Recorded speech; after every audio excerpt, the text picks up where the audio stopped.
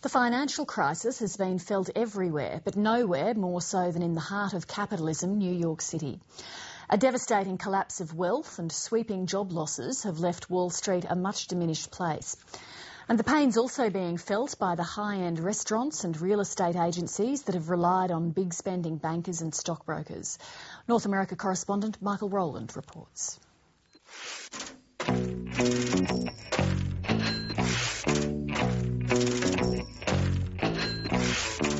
This is what $24 million will buy you on New York's ritzy Upper East Side. With its sweeping views of Central Park, this luxury apartment is one of the city's finest pieces of real estate. But the asking price is somewhat lower than what it would have been before financial markets imploded.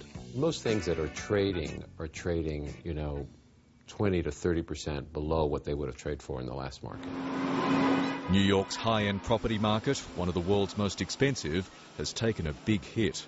Those forced to sell a home or two to raise some quick cash are having to lower their expectations. You know, sellers tend to respond slower than buyers. Buyers respond to economic news immediately, and sellers tend to be a little bit in denial. And first they say, no, it's not me, and then they get angry about it, and then finally they accept. And when that happens, that's when you can put the two together. The epicenter of the global financial system, New York City has been particularly hard hit by the market meltdown. More than 30,000 Wall Street professionals have lost their jobs over the last eight months.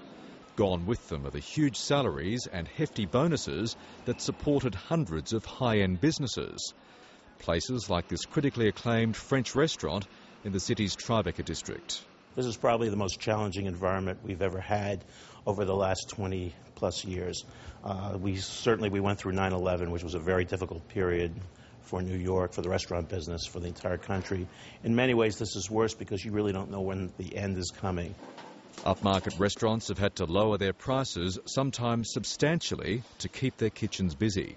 In this restaurant, we have a $79 and $120 prix fixe. That's not inexpensive, but compared to a lot of other restaurants of this caliber, it's very, very reasonable. Australian-born chef Shaun Hergatt is walking into the Lion's Den. He's just about to open a fine dining restaurant just steps from the New York Stock Exchange. When this restaurant was first planned two years ago, the markets and the economy were booming.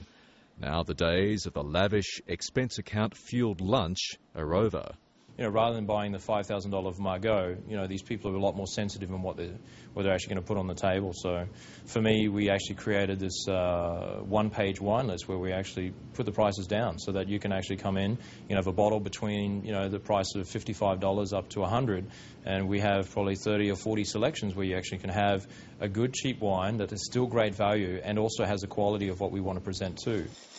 The financial crisis is affecting Wall Street types in other ways as well all of a sudden our male clientele that would come in for their regular 90 minute massage would be in the locker room in the steam room for an extended amount of time. We were wondering if they were okay. They just didn't want to go back to the office. This Midtown day spa is one of the few high-end businesses to benefit from all the economic stress. I think people aren't spending the big money to go, oh, let's go for a wonderful weekend down to Palm Beach or here or there. So they're doing little mini vacations here at the spa.